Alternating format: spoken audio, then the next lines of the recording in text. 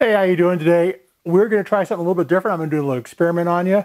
Um, I'm going to get right started right into the video, no intro. We're going to see how that plays out. Today I want to cast uh, some tools that we're going to use in the foundry itself. Uh, I'm going to make sprues. I'm going to make, actually I'm going to do, can't if I can pick them up, three sprues at once. Uh, so I've made a I've made patterns for that. I have made a, uh, a runner that I'm going to attach all those sprues into. So they'll all just kind of sit right here like this. Metal will come down across the runner. As it fills, it will start to fill, will fill the molds from the bottom. Uh, to do that, I also have a little bit longer sprue than I normally use. Uh, my sprue, uh, this is my normal sprue that I use. So you can see the difference in the height. It's because I need to get enough height to get these guys in the box and I need to be able to get this guy out. So that's kind of why this is a little bit longer. It's actually the same, same size, uh, but it is taller. So that's it for that. We're going to get right into the casting here. I'm going to show you some things, uh, show you my, my green sand, the new green sand that I'm selling, uh, how it works. Some new flasks that I built. Um, some problems with the new flask, and I'll we'll talk about that during the, when I uh, ram it up and do the do the voiceover here. So let's go ahead and we'll get you started on that guy, and uh, yeah, stick around. There's a special offer at the end of this uh, at the end of the video. So this is the drag part of my new flask. Uh, you can see it's it's real it's real long and, and narrow, uh, very very shallow as well. I'm just going to put the runner down here. That's all we're going to put in the um, in the uh, drag. This is a new green sand I am going to start using in all of my uh, my videos going forward. This is the same green sand that I'm selling out on my uh, my online store. And I'll put a link to that down below uh, at the end of the video. This stuff is great. It is like it feels like flour. It is so fine. It is so smooth. Um, really, really, really nice stuff. And I get asked periodically, how much water do you put in your sand? You know, you, this is one of those your mileage may vary kind of things because here in Colorado, the it's pretty dry. Uh, our humidity levels are really pretty low. Uh, so I may put more water in than you would. But this is kind of, you see the chart across the bottom here. Uh, how much, if you have 10 pounds of sand, you're going to add probably four ounces of water. 20 pounds, eight ounces of water, or, or nine kilograms, you're going to add 235 milliliters of water. So that's kind of the uh, the ratios that I use and that gets pretty darn close. Again, you're going to have to play with it at your at your location. I already said it earlier, but uh, this is the the runner. I'm going to actually attach the patterns, the, the sprues that I'm going to cast, right to the runner here. Uh, so there's not going to be a horizontal gate like we would normally see. It's just going to be uh, the runner coming across in a horizontal fashion and the parts filling vertically from the bottom up. this is my horrible flask. I can't believe I made these the, the alignment pins on here like I did. Don't ever do it like I just did it. It's horrible. Uh, but uh, you can see how tall and narrow it is. And that's one of the reasons uh, I showed at the beginning. I showed that really tall sprue. Uh, I needed that sprue to extend above the top of this box, so I had to make it uh, longer. Now my patterns uh, are not actually staying put inside the, the runner I've got across the bottom, so I'm going to kind of just lay them in there in the right places. And then we're going to try to fill in around them with sand. You can see here, I've got some sand in the bottom of the box. I'm trying to use my ramming tool to get down in there, but it's really, really tight between the sides uh, and between the uh, parts. Here's the problem with my hands. My hands just barely go in there. I mean, really, it's just too, too tight. I had a guy, um, a guy named Mike, asked me the other day, he emailed me and said, hey, how big are your flasks supposed to be? How much sand is supposed to be around the part. Well, I can tell you right now, more than what I've got here. this is this is way too tight. You know, I guess if you're building a flask to to mold in, you want enough room to work in. Uh, that's a, another key factor. Nice thing about this view that I've got, it is a very nice view of me cutting a pouring basin.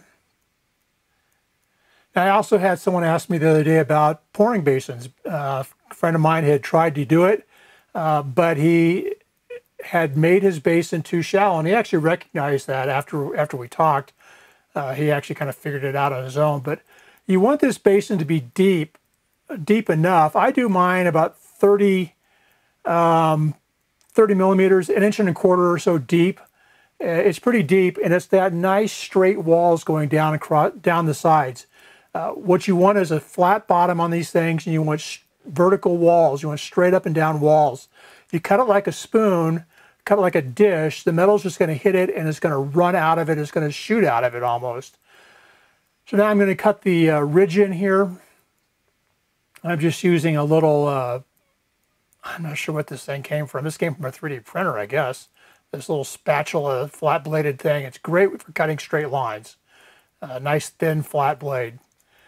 You can see the ridge that I'm forming now. Um, you know, I was told the ridge should be 10 millimeters off the bottom, uh, 10 millimeters from the top. You know, you know what? It's got to be high enough to stop the vertical splash of metal when it hits the bottom of the basin. That's the intent of the ridge, to stop that movement horizontally across the, um, the bottom of the basin and then shooting right down into the sprue. So with the ridge there, we want it tall enough to go ahead and fill, start filling upward instead of filling, you know, just shooting across sideways. Uh, fill it upwards, get it to where it's running over the top of the ridge in a nice controlled manner. Uh, the basin size, again, doesn't really matter how big it is. It can be as big as you want. Bigger is going to give you a bigger target, a little more forgiving target. Uh, smaller is going to use less metal, right? So it's all what you're comfortable with. But the important part is you have to have the straight walls, flat bottom, and you want to put that ridge in there to stop that splash of metal from going directly down the sprue when you start pouring. I pull the pull the uh, runner out here. You can see how clean the mold is. Uh, it, again, it's just the sand is really really nice. Uh, what you can barely see on the top edge there is I'm just taking a spoon and trying to dig out all of those sprues that, that are sitting below the level of the sand. I just stuck a screw in the um, in the sprue here. What I want to be able to do is I want to twist this guy. I'm not going to rap it back and forth. I don't want to deform the shape of the sprue. I want it to maintain its shape. So I'm going to rotate it and pull it straight out very carefully not to be messing up the sides. This is the rapping tool that uh, we made in the last video. You can see how I'm going to use it here. I've got a screw stuck in the, uh, the pattern and I'm just going to lightly tap a couple of directions here and it pops right out of there. Nice and easy. The nice thing about this rapping tool is it's really light. It doesn't transfer a ton of energy into the pattern, so we're not going to deform the pattern or the mold by uh, hitting it too hard. Get a nice generous blowout, and we will get this thing closed up for, for pouring. I rotated the mold here um, so you guys would have a nice clean view of the pour. Unfortunately, this really should have been all about me and not about you because I can't see what I'm pouring when it's in this in this orientation. And you're going to see when I pour, I have a little bit of trouble keeping that sprue full. I think I do keep it full, but um, just barely, just barely.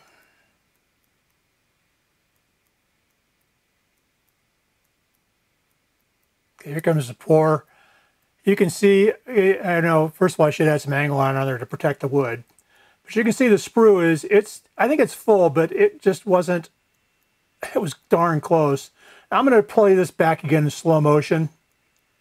And I want you to notice a couple of things. You can look at, you can keep an eye on that sprue if you like, but look at the order in which the, uh, the, the patterns, the mold actually fills. Starts with the back end first, moves towards me, you know, each one filling uh, after the next. I think that's kind of interesting. I think that's due to the pressure inside that runner. All of the pressure is down at the end of it where it's hit the spin trap. And the next place it's going to go is it's going to go straight up in that last one.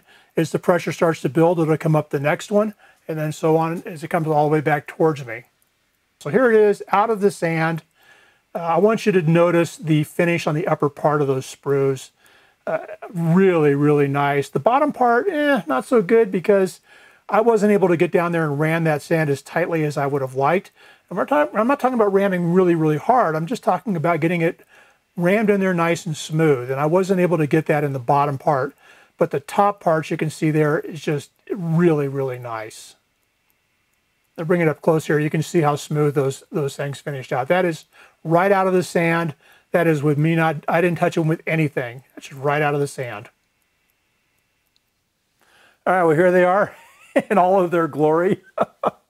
Actually, you know what? If I'm looking at them like this, they look darn good. These are nice looking castings. I look at them down here, eh, not so much. and that, that brings me to the special offer. Um, I'm going to put those up on my website. Uh, they are up there now on uh, plmfoundries.com.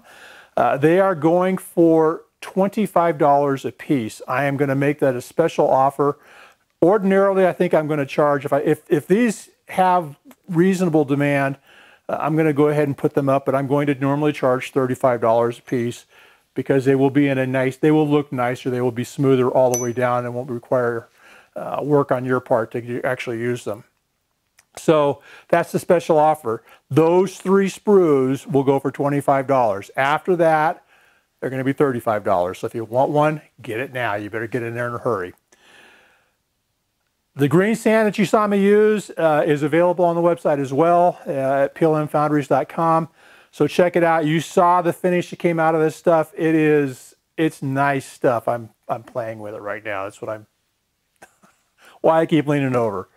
It, uh, it's, it's nice sand. It, nothing that I did. It's just the sand that I'm able to get is good stuff.